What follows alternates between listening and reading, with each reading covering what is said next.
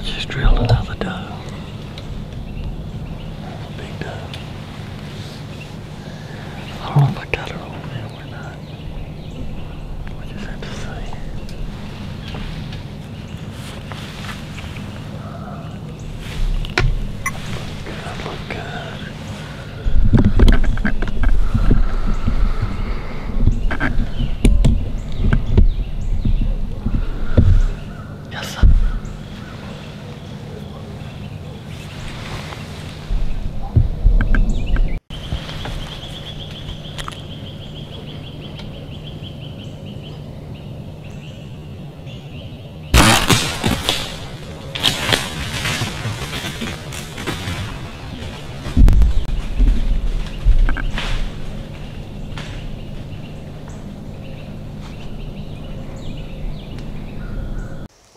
She run about 60, 70 yards, piled up. Didn't have much of a blood draft because the air is still in her, but uh, another good one for Georgia.